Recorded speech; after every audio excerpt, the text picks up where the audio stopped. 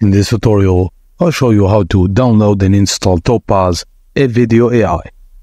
Go to the official Topaz website or trusted source and download the Topaz Video AI installer. Just click on download for Windows or Mac.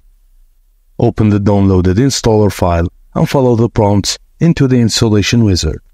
Agree to the terms conditions, choose the installation location, and then click install and wait for the process to complete. Once the installation is complete, open Topaz Video AI from the applications or desktop shortcut.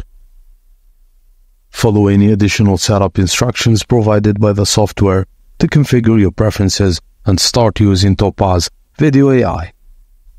And that's it guys, just ensure your system meets the minimum requirements for Topaz Video AI and make sure you have an active internet connection during installation for any updates or additional components.